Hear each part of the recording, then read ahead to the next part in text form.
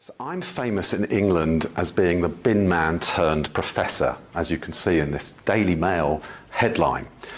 Uh, the working class lad who became a charity CEO, the boy who left home at 15, who dropped out of school for a bit, and whose family uh, had no one had uh, been in higher education, and who got an OBE from the Queen, I actually got it from Prince Charles, um, for services to social mobility.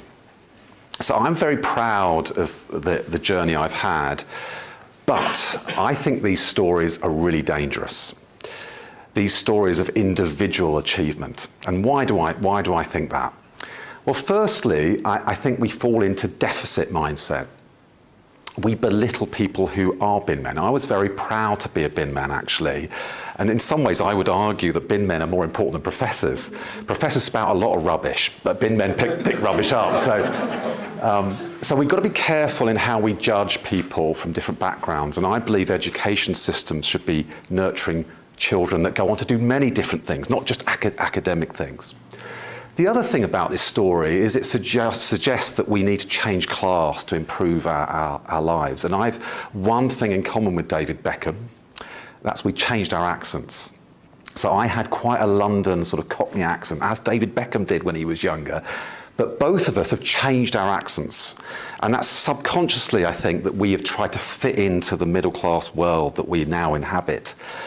And I, I, think I worry about that because I feel like um, I'm a middle class clone, but I don't quite feel at home in the new world that I've I, I, come to. So, so we should we should celebrate all classes actually, and we should look at how our systems are genuinely inclusive, rather than making people like me change who they are. The other thing about this story is it emphasises individual achievement. And I can tell you my life is the product of collective endeavour.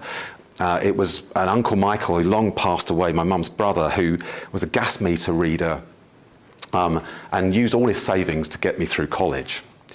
It was my mate's mum and dad that gave me a place when I, when I needed to stay somewhere. It was the teacher who took me under her wing that gave me the confidence to apply to university. So we are all products of collective endeavour. I think one politician once said there's no such thing as society. I do not agree. I think we are a collective uh, society and we are products of each other. The final thing about this story is that I was a very academic uh, young man.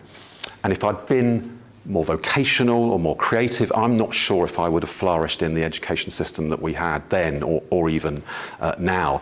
In, in fact, uh, um, I, I, I, someone from my background overcompensates. I wanted to do the most academic thing you could do. I actually did a PhD in theoretical physics. I don't mention it at parties because the conversation goes dead.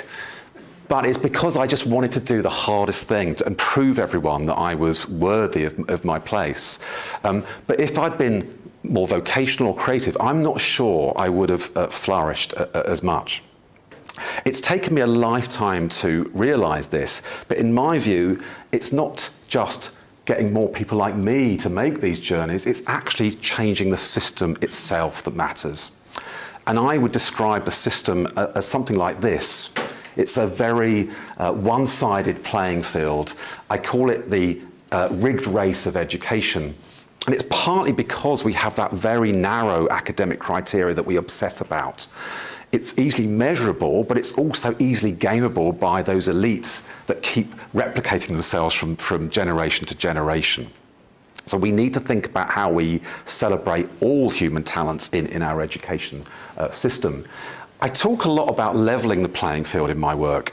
I actually think it's more about changing the game, changing the rules of the game, which I'll come to. I believe that many of our classrooms and curricula are biased to certain people from certain cultural and class backgrounds. And we need to do a far better job in making them genuinely uh, inclusive.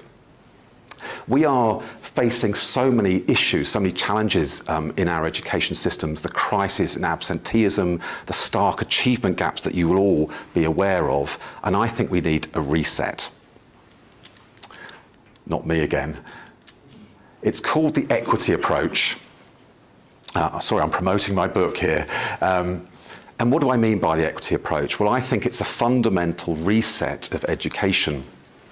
A curriculum of equity would be looking at our curriculum and celebrating the scientists and the poets and the writers that come from working class or different cultural backgrounds. I don't think we do enough. It would have the um, arts and the sports fitted into our busy school days that have been squeezed out by our obsession with academe. Many of the young people from my sort of backgrounds do not get those opportunities outside schools. I would challenge some of the class biases that we have in the examination system. In England, there's the famous geography question set on a ski slope. I can tell you that's alien territory for someone like me. I missed out on the ski trip at school because my mum and dad were splitting up at the time. So it's kind of an emotional reaction for me as well as one that would, you would need to have more cognitive uh, load, if you like, to understand that question, to put it into context. There's the maths questions about uh, money and savings when many children in our, classrooms have not got coats to get them through the winter. So we need to really think about those examination questions. The language of equity is challenging ourselves about the terms we use on disadvantage. In this book, we don't use the, the term disadvantaged pupil, uh, we use the term children from under-resourced backgrounds. It sounds like a subtle difference, but it's so important.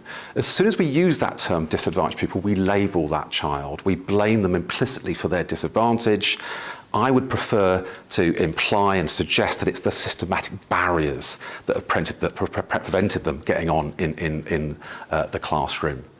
So language is really, really important. The third thing is the pedagogy of equity. And here, I think we need to look at our classroom interactions to reflect on our unconscious biases that we all have that mean we interact less with those children that look less like us or are not as like us as, as, uh, as being middle class.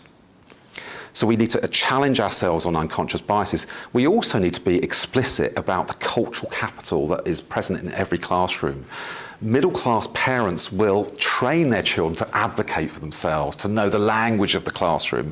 If you come from a different background, I've had to learn all this over the years, then you're just not going to be seen or know how to play the game. Again, we need to be more explicit about those things. So, what would I say to a system leader? I'd say um, give teachers a break. Uh, we can't solve everything in this education system. We can up our game, we can really do more for children, but please declare a war on child poverty and then we'll do our bit. Teaching is one of the most sophisticated things human beings can do. Respect it, but don't lay all of society's ills at the school gates.